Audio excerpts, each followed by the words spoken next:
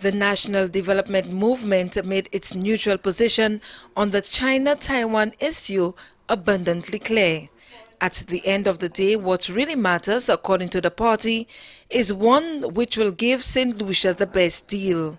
If we had set specific procedures and required that all funds go through the consolidated fund, then the Taiwanese would have no, you know, alternative but to comply. But it seems to be, and I use the word,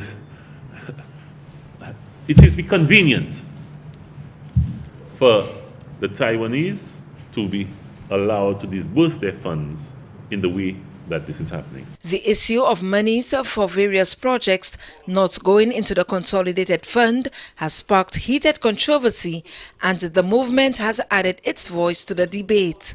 The NDM says the government should have acted decisively by insisting that all monies go to the consolidated fund. In this way, according to the NDM, the government would be able to give a proper accounting. St. Lucia must also adopt the same approach. We are not pro Taiwan, we are not pro China.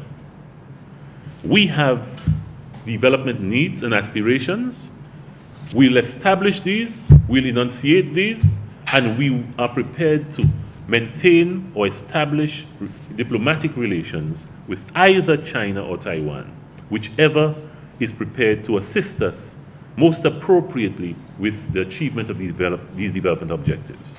Having made the comments, the National Development Movement says, in this harsh economic season, the government is rather fortunate to have benefited from the level of generosity displayed by the Taiwanese. Reporting for the DBS News World, I am Cecil Actil.